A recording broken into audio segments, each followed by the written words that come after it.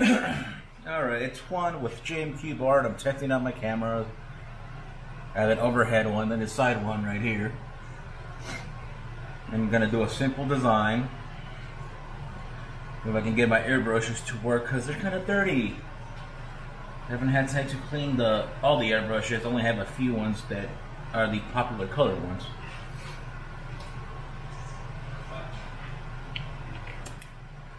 So we're gonna go with pink that's my main color I've been using.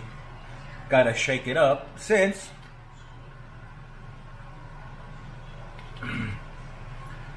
that's how it splits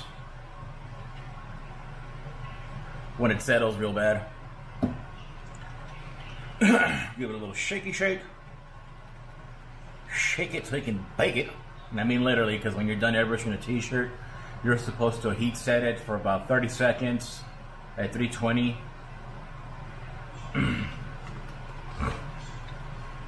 so it binds the paint into the fabric that doesn't come off when washing. Right now I'm just gonna do a simple sphere and do a simple script design. That's basically known as the bread and butter of the airbrush world.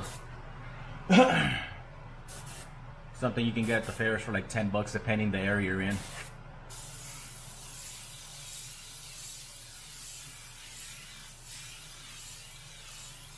Usually I start with the light circle. Just to get me centered. And you're gonna make sure it's properly in the middle in all angles. So I have all that sketched out.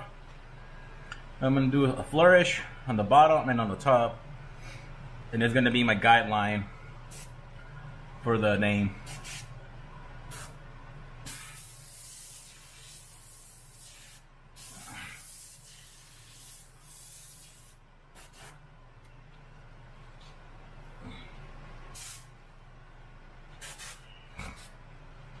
Once I have the rest of the name, I'm going to come back heavy on the flourishes and blend it out. Add some Starburst so it can uh, pop more.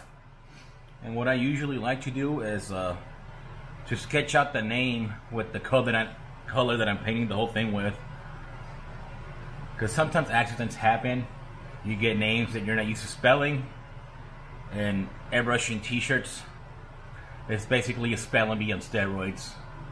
Because they will yell at you for not spelling it right. And they're paying you, so they kind of get that chance.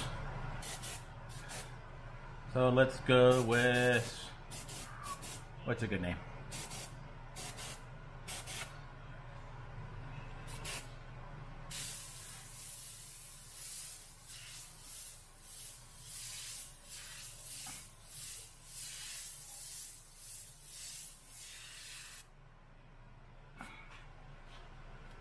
So I have my name that's centered. Now I can actually come back and bolden up the uh, flourishes I added and add my starburst if I want to.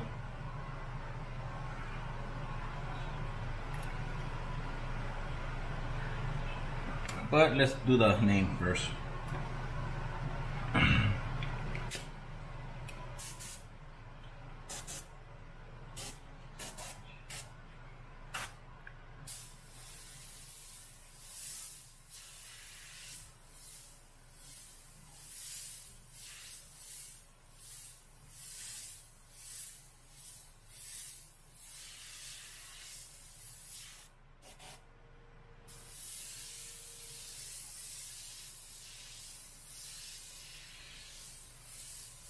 If you do the drop shadow right, or the sketch, you can literally just offset the black lining to the side, and you have an automatic drop shadow, like you see here and there. You just come back and fix the little areas. Sometimes it works, sometimes it doesn't.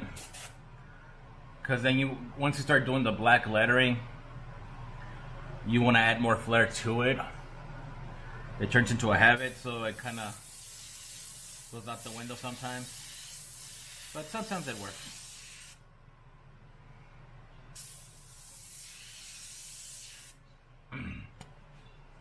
and make sure when you're doing the lettering name, try to keep the spacing consistent the strokes consistent as close as you can. This is handmade. And remember, anything that goes down gets thickened up, and it goes up, uh, goes thin, up, down, and so forth. So enough good gets.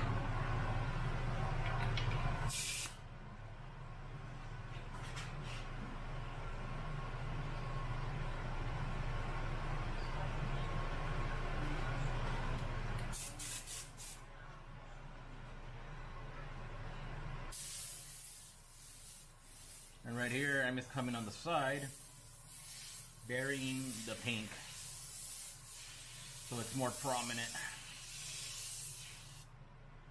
See the difference laying down the paint hard and here where it looks wishy-washy?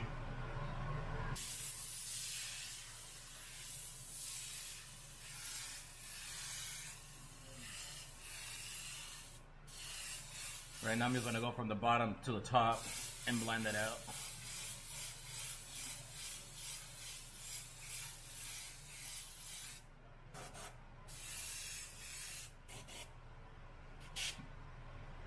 Do a little starburst right here.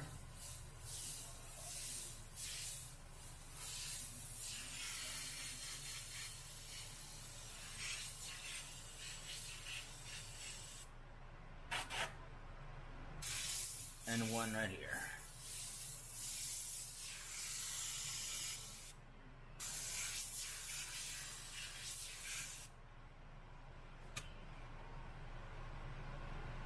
You can either leave the design as is.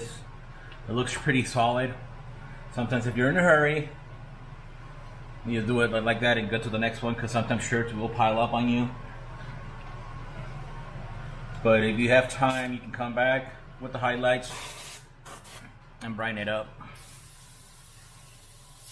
And the thing for the highlights that make it pop is to have a nice, sharp, tight white highlight. I used to make big old blobs when I was learning how to airbrush and it made everything look uh, muddy. But the tighter it is, the better the effect comes out. See now it looks like it's popping out, rounded off, especially with the little uh, drop shadow. And then wherever you want, if you want to put a little starburst for that extra twinkle, you can.